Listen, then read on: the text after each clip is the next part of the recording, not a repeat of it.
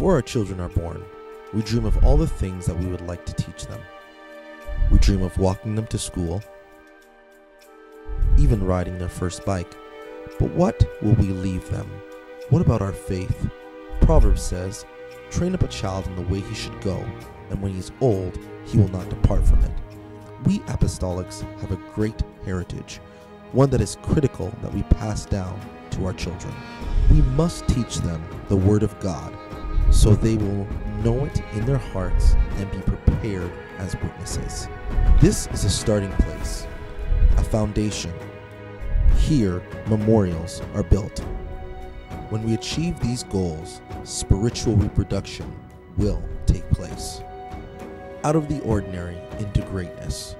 More than a concept, but a life calling.